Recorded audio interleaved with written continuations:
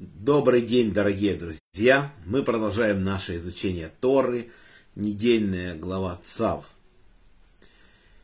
Сегодня говорим о хлебном приношении. Жертвник работает. Человек принес хлебный дар. Коин его подносит в передней части жертвенника, так написано, и отделяет небольшую часть, горсть муки, смешанной с оливковым маслом, и ароматную смолу, это называется поминальная часть, сжигает эту часть на жертвеннике, и остальная часть остается коину, которую приносит. Вот так. От этой жертвы сжигается только часть. Итак, если мы рассмотрим большинство хлебных жертв, даже в случае, если написано, что это жертва все сожжения, она вся не сжигается. Приносится жертва, берется поминальная часть, в зависимости от того, какая это жертва. Значит, если это жертва, испеченная в печи, приготовленная вода с мукой, опресновки маца, и помазанная наливкой маслом, коин приносит маленькую часть, сжег, остальное едят коины. Также, если просто мука смешана с маслом,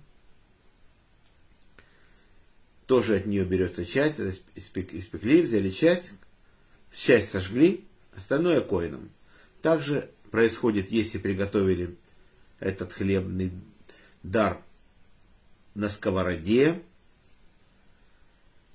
или в горшке приготовили, только часть сжигается. И даже если это зерна крупно смолотые, как первинки урожая, тоже сжигается часть, остальное достается коину.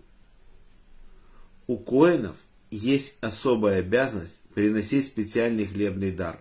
Написано, что Агарон возьмет амер муки, и смешает его с маслом. Это много амер муки. Это если банка взять 3,9 литра по одному из комментариев. И получится лепешка большая. Потом ее испечет, преломляет ее пополам и сжигает утром. Часть утром и часть, когда идет жертва послеполуденная от этой части никто не ест. Потому что написано, любой хлебный дар коина будет сожжен полностью. Никаких поминальных частей в данном случае. То есть в этом есть различие. Допустим, есть еще различие, если это хлебное жертвоприношение в случае грехочистительной жертвы. Нет у человека денег принести даже птичку, он приносит хлеб.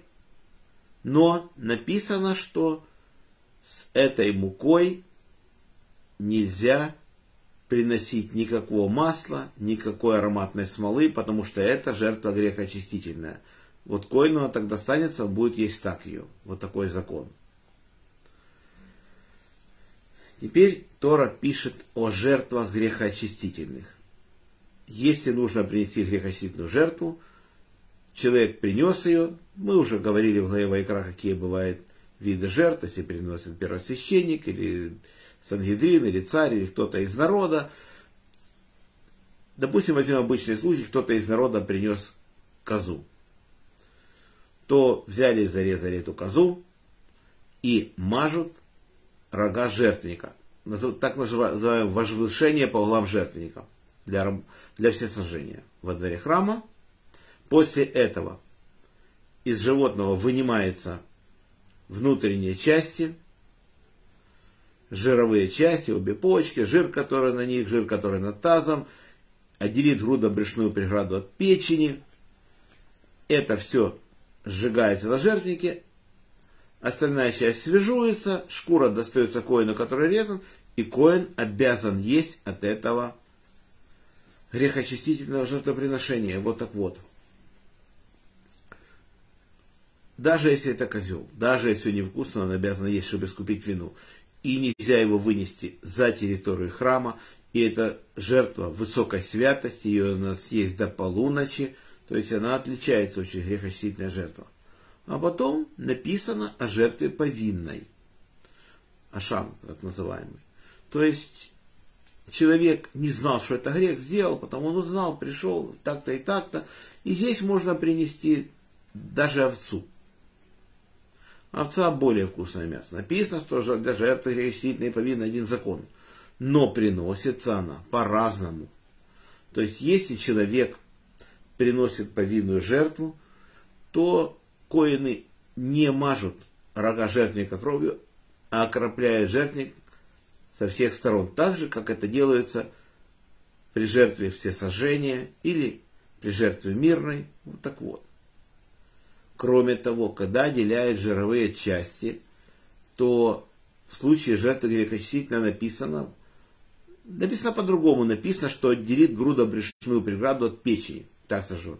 А в жертве повинной написано, возьмет груда брюшную преграду с частью печени. То есть есть различия.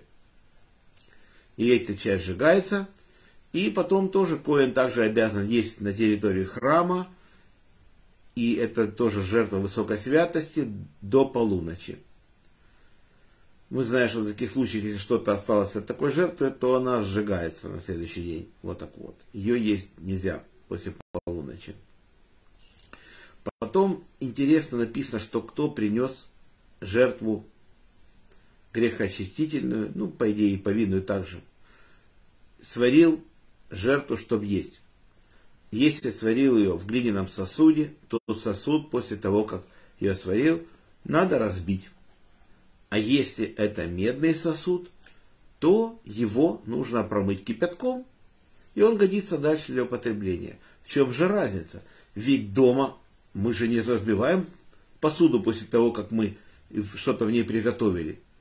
То есть, если это глиняная посуда, ну и что будет годами служить? Ничего она кошерная, все нормально, сколько бы ты в ней не сварил ни раз мясо там. Но Тора пишет, что если ты приносишь жертву, то максимально, допустим, это мирная жертва. Что Всевышний разрешил нам? Если не съели на первый день, можно съесть на второй день. Это два дня и ночь между ними. А все остальные жертвы, повинная, грехочистительная жертва, надо ее съесть до полуночи. Так есть часть даже мирных жертв, которые до полуночи. Что получается? Если это глиняный сосуд и в порах останется частички мяса, то если мы его будем употреблять для следующей жертвы, то получается частички останутся от этого мяса, и мы нарушим закон Торы. И за это очень суровое наказание будет, душа отторгнута от народа ее. То есть серьезное наказание. Поэтому выхода здесь нет, надо бить этот сосуд. А что касается медного сосуда, там пор нет, и туда мясо не попадает, кипяток, кипяток есть, промыли кипятком и все. И можно после этого есть сколько угодно мяса, приготовленное этим способом в медном, в медной посуде. Вот так вот. То есть кашрут дома и кашрут храма отличается.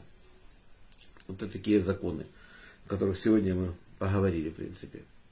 А на сегодня наш урок заканчивается.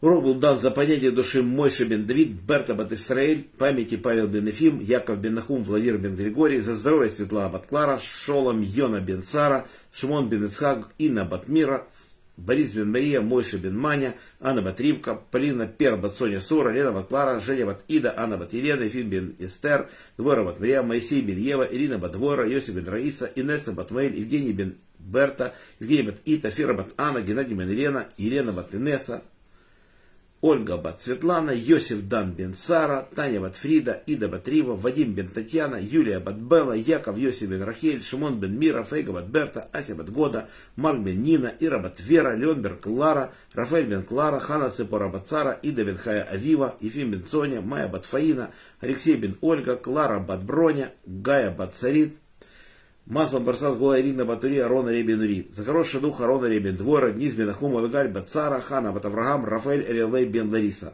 Галия Бат Гедалия. Парнасай Брют Владимир Бен Рая, Анна Батарицандра, Марина Батрая, Борис Бен Марина, Алексей Бен Наталья. Всего хорошего Олегу Марченко. Всем браха, парноса, кавана, мазал то, что мы это время не грешили, читали Тору. Всем желаю крепчайшего здоровья. И чтобы срочно закончилась страшная война. До следующих встреч. Надеюсь, состоится завтра в 15 часов. Шалом.